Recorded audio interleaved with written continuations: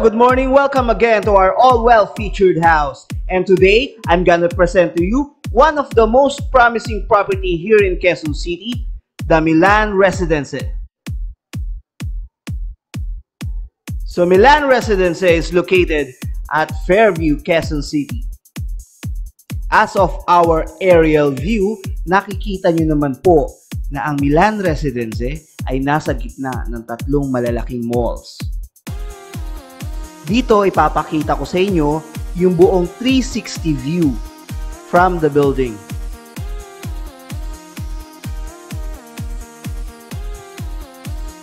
So Milan Residence at Fairview, Quezon City is developed by Euro Towers. So basically, Milan Residence is a 34th floor condominium. So the commercial space at the basement, the mezzanine, the ground, and the second floor, we have two levels of basement parking. So the third floor is the amenity area. The fourth floor to 31st floor, that's the residential. So we offer here two types of residential. One is the studio type and one is the bedroom, one bedroom type. Okay? So for now, I'm gonna show you the studio type unit. So this studio type unit is with a floor area of 21 square meter. Total floor area na po yun. So, pasok po tayo. So, as you enter the door, makikita nyo po yung kitchen area.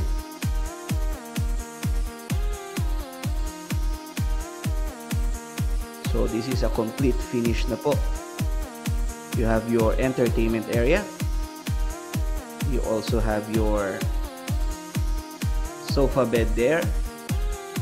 So, you can also convert that into a bed. So, this is the balcony. So, napakaganda po niya.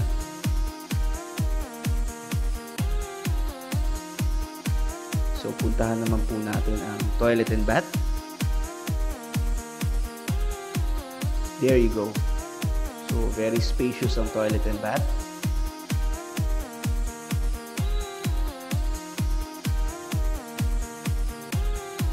Ako na po nagsasabi. I'm inviting you for a free treating para makita niyo po kung gaano kaganda yung turnover type nila. This, so, this is the model unit.